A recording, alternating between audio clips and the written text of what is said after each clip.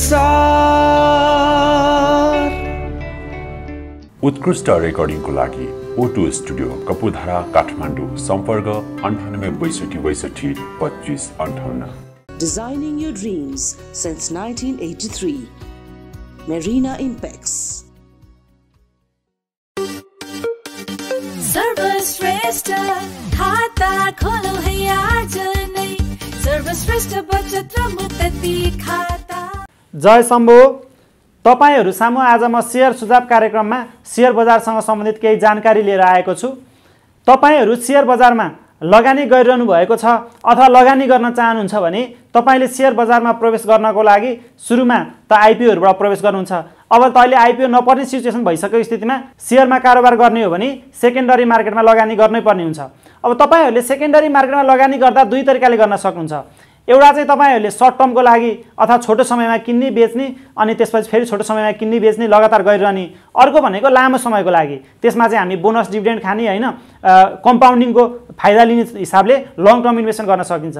हामीले long term investment गर्नको लागि चाहिँ कम्तीमा पनि दुई वर्ष अथवा त्योभन्दा ज्यादा टाइम फ्रेमसम्म लगानी गर्नु पऱ्यो लङ टर्म इन्भेस्टमेन्ट भनेको चाहिँ कस्तो हुन्छ भने तपाईँले लगानी गर्नुभयो त्यसमा बोनस अथवा डिभिडेन्ड खानुभयो र त्यो पैसा बोनस अथवा डिभिडेन्डमा आएको लगानीले अर्को नकमाउने बेलासम्म चाहिँ कम्पाउन्डिङ हुँदैन। खास गरी स्टक मार्केटमा हामीले कम्पाउन्डिङ भनेको तपाईँले अहिले सय किता सेयर किन्नुभयो दस पर्सेन्ट बोनस आयो भने एक सय दस किता भयो। अब जबसम्म तपाईँले त्यो थप दस किताले कमाउनुहुन्न तबसम्म त्यसको कम्पाउन्डिङ हुन पाउँदैन। र तपाईँले एक सय किता सेयर किनेर दस पर्सेन्ट बोनस खाँदा त्यसको मूल्य एडजस्टमेन्ट भइहाल्छ त्यो भएर तपाईँले पहिलो वर्ष गरेको लगानीमा खाएको बोनस चाहिँ हामीले एक डेढ वर्षसम्मको लगानीलाई चाहिँ लङ टर्मको भन्न मिल्दैन। कम्पाउन्ड हुनको लागि कम्तीमा पनि दुई वर्षको बोनस खानु पऱ्यो र त्यो हिसाबले अथवा डिभिडेन्ड हो भने दुई वर्षको लिनु पऱ्यो त्यो दुई वर्ष अथवा त्योभन्दा लामो समयको लागि लङ टर्म भनिन्छ। यस्तो स्थितिमा चाहिँ हामीले कस्तो कम्पनीहरू किन्नुपर्ने हुन्छ लङ टर्मको लगानी गर्नको लागि भने चाहिँ तपाईँहरूले कुनै पनि कम्पनी चिन्नु पऱ्यो त्यसले के बिजनेस गर्छ भनेर थाहा हुनु पऱ्यो तपाईँलाई यो कम्पनीले जस्तै ब्याङ्कले ऋण लिने र दिने काम गर्छ होइन? अब जस्तै माइक्रो फाइनेन्सले पनि त्यही काम चाहिँ अलिकति सानो परिमाणमा गर्छ जस्तै सिमेन्ट कारखाना हो भने सिमेन्ट बनाउने र सिमेन्ट बेच्ने काम गर्छ। तपाईँहरूलाई कुनै पनि संस्थामा लगानी गर्न चाहनुहुन्छ भने त्यसले के काम गर्छ भन्ने चाहिँ थाहा हुनुपर्छ। जस्तो तपाईँले सिआइटीमा लगानी गर्नु भएको छ सिआइटीले के काम गर्छ नै थाहा छैन। अनि सिआइटीमा लगानी गर्नुभयो भने त तपाईँहरूको त्यो लगानी जोखिममा भयो। तपाईँहरूले लगानीमा कम जोखिम हुनको लागि तपाईँले गरेको लगानी गरेको कम्पनीले के बिजनेस गर्छ भनेर थाहा पाउनु पऱ्यो अनि तपाईँले त्यो के बिजनेस गर्छ भनेर थाहा पाएपछि तपाईँ अबको पाँच सात वर्ष दस वर्ष पछाडि त्यो बिजनेसको भविष्य कस्तो देख्नुहुन्छ? जस्तो तपाईँले हाइड्रो कम्पनीमा लगानी गर्नुभयो भने आजभन्दा दस वर्ष अथवा पाँच वर्ष पछाडि हाइड्रो कम्पनीले धेरै पैसा कमाउन सक्ला कि नसक्ला त्यो सोच्नु पऱ्यो मानव तपाईँले सोलर कम्पनीमा लगानी गर्न सक्नुहुन्छ होइन? अथवा सिमेन्ट कम्पनी अथवा अरू कुनै पनि प्रडक्सन गर्ने कम्पनीमा लगानी गर्न सक्नुहुन्छ अथवा इन्सुरेन्समा लगानी गर्न सक्नुहुन्छ। आजभन्दा दस वर्ष पछाडि इन्सुरेन्सको भविष्य के होला? लङ टर्मको लगानीमा त तपाईँले बिजनेस मोडल बुझ्नु पऱ्यो र त्यसपछिको पाँच वर्ष दस वर्ष पछाडि त्यो सेक्टरको अथवा त्यो कम्पनीले कस्तो बिजनेस गर्ला? मानव तपाईँले किराना पसलमा लगानी गर्दै हुन्छ भने आजको पाँच वर्ष पछाडि पनि अहिलेको मोडलको किराना पसल चल्ला त।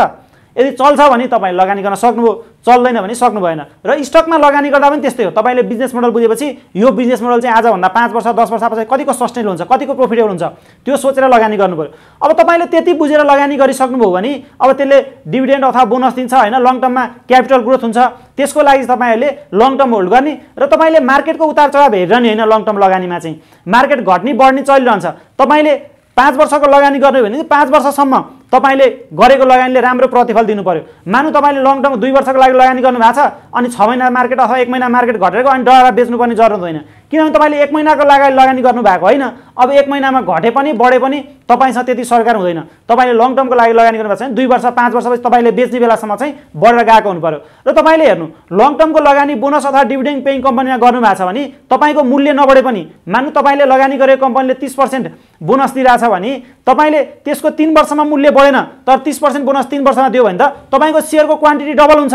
मूल्य स्टेबल भए पनि पुग्यो। अथवा अलिकति घटेर जान्छ भने पनि तपाईँले लगभग हामीले लङ टर्म लगानीमा धेरै ठुलो उम्मिद चाहिँ गर्नु हुँदैन। एनुअल रिटर्न भनेको पन्ध्र पर्सेन्ट मिनिमम चाहिँ कमाउनु पऱ्यो किनभने पन्ध्र पर्सेन्टभन्दा कम रिटर्नले चाहिँ महँगीहरू होइन तपाईँको क्यापिटल कस्ट अफ फन्डहरू त्यो सबैलाई म्यानेज गर्न सक्दैन। पन्ध्र पर्सेन्टभन्दा ठुलोको रिटर्न चाहिँ तपाईँहरूले सोच्नुपर्ने हुन्छ पच्चिस तिस पर्सेन्टसम्म पनि एनुअल रिटर्न ल्याउन सकिन्छ लङ टर्म लगानीमा। राम्रो स्टक पऱ्यो भने। तपाईँले त्यो बिचको रिटर्न ल्याउनु भइरहेछ भने हामी चाहिँ के गर्छौँ भने एउटा स्टक किन्छौँ वर्षमा बाह्र पन्ध्र पर्सेन्ट तिस बिस पर्सेन्ट बढ्छ। अनि पर्याप्त बढेन अर्कोमा जान्छु भनेर सिफ्ट हुन्छौँ। त्यसो गर्दा चाहिँ तपाईँहरूको कम्पाउन्डिङ हुन पाउँदैन र तपाईँहरूले राम्रो लगानीको प्रतिफल पाउन सक्नुहुन्न। तपाईँले यदि लङ टर्मको लागि लगानी गर्नुहुन्छ भने कुनै वर्ष दस पर्सेन्ट पनि रिटर्न आउन सक्यो कुनै वर्ष तिस पर्सेन्ट चालिस पर्सेन्ट पनि आउला। त तपाईँहरूले कम्पनी राम्रो छ बिजनेस मोडल सस्टेनेबल छ र यो बिजनेसको भविष्य राम्रो देख्नुहुन्छ भने तपाईँहरूले लगानी गरिसकेपछि कुनै वर्ष राम्रो नभए पनि होल्ड गरेर बस्नुपर्ने तपाईँसँग त्यो क्षमता चाहिँ हुनुपर्छ। र त्यसपछि मात्रै तपाईँको दस वर्ष आठ वर्ष पाँच वर्ष लगानी गर्दा तपाईँले राम्रो फन्ड कमाउन सक्नुहुन्छ तपाईँको क्यापिटल राम्रो ग्रोथ हुनसक्छ अर्को भनेको हामीले सर्ट टर्म लगानी गर्न सक्छौँ। अब सर्ट टर्म लगानी गर्नको लागि हामीले हेर्नुपर्ने मुख्य कुरो भनेको अलिकति प्राइस एक्सन हो। प्राइसको मोमेन्टम हो। यसमा चाहिँ तपाईँलाई टेक्निकल नलेज चाहिन्छ। लङ टर्ममा हामीलाई फन्डामेन्टल नलेज चाहिन्छ भन्छौँ। तर फन्डामेन्टल नलेज नभए पनि तपाईँले कम्पनीको बिजनेस मोडल र त्यो बिजनेसको भविष्य कस्तो छ त्यति बुझ्न सक्यो भने तपाईँलाई धेरै फन्डामेन्टल एनालाइस हेर्नुपर्ने ब्यालेन्स सिट प्रफिट लस हेर्नुपर्ने इपिएस हेर्नुपर्ने प्रत्येक वर्षको डाटा फलो गर्नुपर्ने त्यो जरुरत हुँदैन। तपाईँले बिजनेस मोडल बुझ्नुभयो र त्यो बिजनेसको भविष्य राम्रो देख्नुहुन्छ भने लङ टर्मको लागि त्यति काफी छ। सर्ट टर्मको लागि चाहिँ थोरै एनालाइसिस अथवा थोरै सिकेर पुग्दैन। यहाँ चाहिँ तपाईँलाई अनुभव पनि धेरै चाहिन्छ। सर्ट टर्ममा सेयर किनबेच गर्ने अनुभव पनि धेरै चाहिन्छ। तपाईँलाई नलेज पनि टेक्निकल नलेज पनि एकदमै जरुरत हुनु पऱ्यो मार्केटको प्राइस एक्सन बुझ्नु पऱ्यो सेन्टिमेन्ट पनि हामी प्राइस एक्सनमा हेर्छौँ भने हामी न्युज इभेन्टहरू हेर्ने भन्दा पनि तपाईँले क्यान्डल स्टिक अथवा चार्ट हेर्नुभयो भने तपाईँले त्यो न्युज इभेन्टले के हुनसक्छ र के भविष्य हुनेवाला छ त्यो चार्टले तपाईँहरूलाई अलरेडी बताइसकेको हुन्छ र तपाईँहरूले सर्ट टर्ममा चाहिँ प्रायः चार्ट हेर्ने बानी गर्नु पऱ्यो पहिलो सुरुमा नयाँ लगानी गर्दा हुन्छ भने तपाईँले दस किता मात्र लगानी गर्नु होला। एउटा सेयरमा पाँच दस हजारभन्दा धेरै नहाल्नु होला। जबसम्म तपाईँले बिस तिसवटा ट्रेड गर्नुहुन्न तबसम्म चाहिँ तपाईँको अलिकति साइकोलोजी ट्रेडिङ साइकोलोजी बनिसकेको हुँदैन। तपाईँलाई घट्दा धेरै डर लाग्ने होइन। तपाईँले मानु सुरुमा नयाँ लगानी गर्दा रूपमा आउनु भएको छ। तपाईँले एउटै सेयर पाँच लाख दस लाख दुई लाखको किन्नु भने तपाईँलाई घट्दा ठुलो क्यापिटल घट्ने चान्स हुन्छ। अलिकति घट्ने बित्तिकै मेरो धेरै पैसा घट्यो भने डर लाग्न सक्छ। तर तपाईँहरूले के गर्नु पऱ्यो भने सुरुको बिसवटा पच्चिसवटा ट्रेडसम्म दस हजार पाँच हजारको मात्र किन्नु भएको छ। दस किताब पन्ध्र किताब मात्र किन्नु भएको छ भने घटे पनि तपाईँको दुई हजार एक हजार घट्दा तपाईँलाई त्यति ठुलो अप्ठ्यारो हुँदैन। बढे पनि थोरै बढ्छ होइन। हामीले सुरुको नयाँ ट्रेडर आउनुहुन्छ भने तपाईँले छ महिना अथवा तिन महिना त कमाउने बारेमा सोच्दै नसोच्ने सिक्ने बारेमा मात्र सोच्नुहोस्।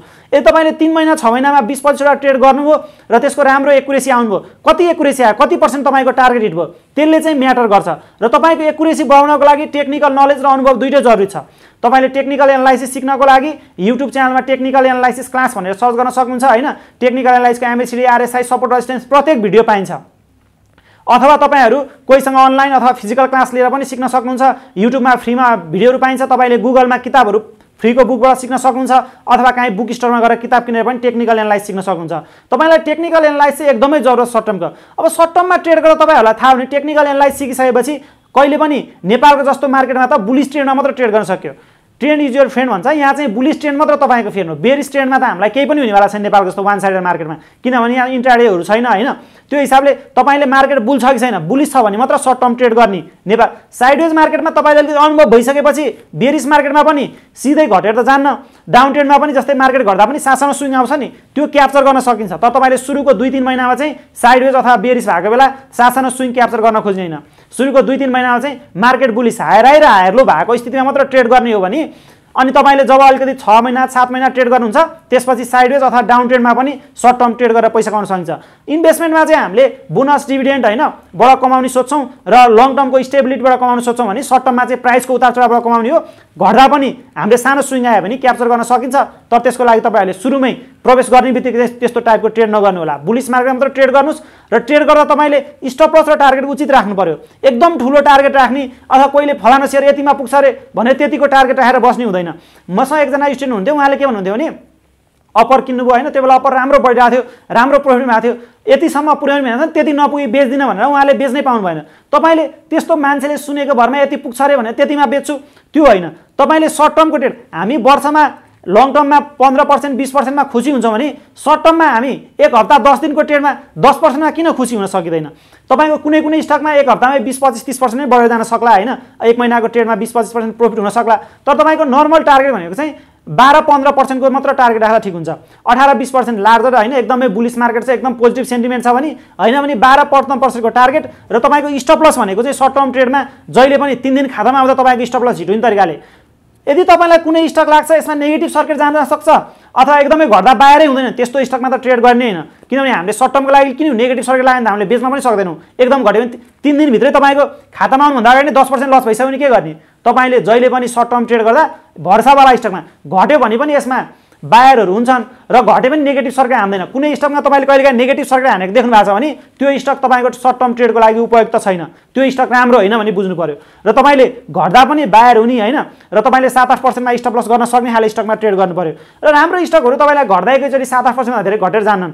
र तपाईँले किन्दाखेरि बुली सेटअपमा किन्नुहुन्छ भने तपाईँले पाँच छ पर्सेन्टमा त स्टप लस गर्न मजाले भ्याउनुहुन्छ। कुनै कुनै टाइममा हुनसक्छ दस पर्सेन्ट एघार पर्सेन्ट पनि मलाई कहिलेकाहीँ मलाई पनि भएको छ स्टप लस तर ज्यादा टाइममा पाँच छ पर्सेन्ट सात पर्सेन्टमा स्टप लस गर्न भ्याइन्छ। तपाईँले दसवटा स्टप लस हिट भयो भने एउटामा मात्र त्यस्तो हुन्छ। नभए नौवटा सातवटामा चाहिँ तपाईँको पाँच सात पर्सेन्ट तिन चार पर्सेन्टमा पनि स्टप लस गर्न कतिमा भ्याइएको हुन्छ। र तपाईँले स्टप लस र टार्गेट चाहिँ रिजनेबल राख्न सक्नु पऱ्यो र तपाईँले आफूले भनेको एरियामा आएपछि बेच्न सक्नु पऱ्यो र त्योभन्दा अगाडि चाहिँ जति धेरै ट्रेड गर्नुहुन्छ सासानो ट्रेड गर्नुहुन्छ तपाईँ प्रोफेसनल बन्दै जाने हो त्यसपछि तपाईँले ट्रेड चार्ट हेर्न थालेपछि तपाईँले मानु सुरुमा चार्ट हेर्दा केही बुझ्नुहुन्न। तर तपाईँले चार्ट एक दुई वर्ष हेर्नुहोपछि त्यो चार्ट आफैले भन्छ कि तपाईँलाई म तल जाँदैछु कि माथि जान्छु आफै कराई कराई भन्छ।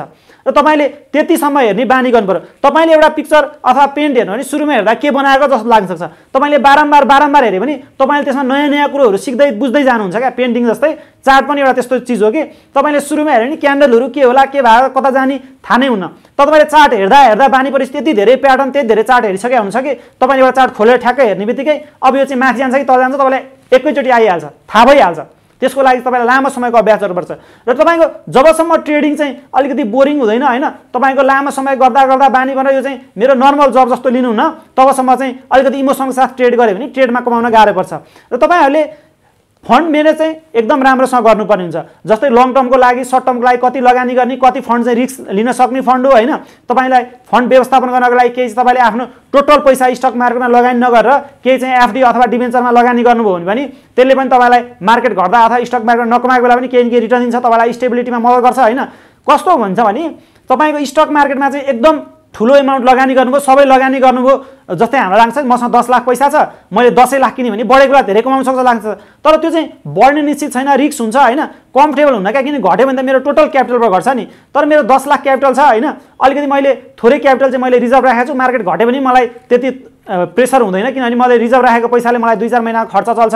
भनेपछि तपाईँले त्यो चाहिँ अलिक कम्फर्टेबल भएर लगानी गर्नु पऱ्यो तपाईँहरूले टोटल क्यापिटल चाहिँ स्टक मार्केटमा लगानी नगरेर लगभग अलिकति दुई चार महिना छ महिनालाई चाहिने पैसा चाहिँ स्टक मार्केटमा लगानी नगऱ्यो भने दुई चार महिना मार्केट साइडवेज भयो अथवा बढेन भने पनि तपाईँहरूले कम्फर्टेबली होल्ड गर्न सक्नुहुन्छ र त्यो हिसाबले कति फन्ड लगानी गर्ने हो त्यो चाहिँ तपाईँहरूको के भनिन्छ भने लगभग एउटा थम रुल छ तपाईँको जति फन्ड छ त्यो माइनस तपाईँको एज गर्नु हन्ड्रेड माइनस तपाईँको एज गर्नु पऱ्यो। माइनस तपाईँको हन्ड्रेड भने सयमा तपाईँको उमेर बिस वर्ष भने बिस घटाउने असी हुन्छ र तपाईँले असी पर्सेन्ट चाहिँ स्टकमा लगानी गर्न सक्नुहुन्छ। यदि तपाईँको पचास वर्ष उमेर भइसकेको छ भने सयमा पचास घटाउँदा पचास मात्र हुन्छ।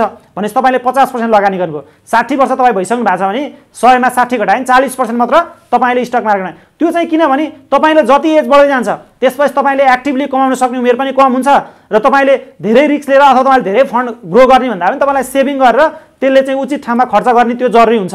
र तपाईँहरूले यदि त्यो लङ टर्म सर्ट टर्मको बारेमा बुझेर फन्ड म्यानेज गरेर स्टप लस र टार्गेटहरू सेट गरेर ट्रेड र इन्भेस्टिङ गर्नुभयो भने चाहिँ तपाईँले दुइटैको आफ्नो साइकोलोजी छ तपाईँहरूले थप कुरा चाहिँ युट्युबमा भिडियो हेरेर सिक्न सक्नुहुन्छ युट्युबमा सर्च गरेर अथवा किताब पढेर सिक्न सक्नुहुन्छ र यो कुराहरूले तपाईँलाई सर्ट टर्मको अथवा लङ टर्मको ट्रेडिङमा पनि केही हेल्प हुन्छ भन्ने मैले उद्देश्य लिएको छु।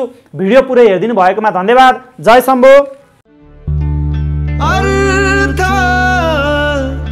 संसार। Designing your dreams since 1983. Marina Impex. सर्वश्रेष्ठ खाता खोलो है आज नै। सर्वश्रेष्ठ बचत र मुक्ति खाता। उत्कृष्ट रेकर्डिङको लागि ओटो स्टुडियो कपुधारा काठमाडौँ सम्पर्क अन्ठानब्बे बैसठी बैसठी पच्चिस अन्ठाउन्न।